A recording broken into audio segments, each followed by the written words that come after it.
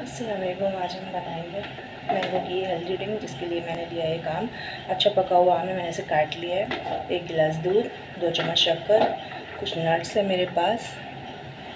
हाँ थोड़ा सा मिल्क पाउडर ऐड करेंगे इसमें। हम उसका इसको ग्राइंड करेंगे।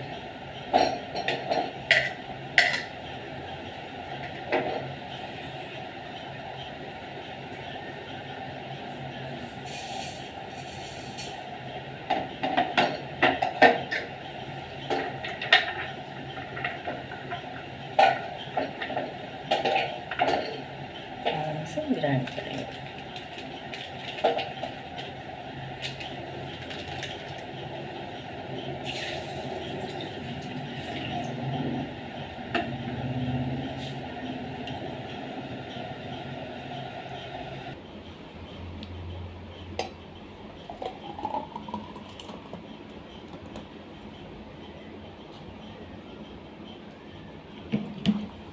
अब हम इसमें ऐड करेंगे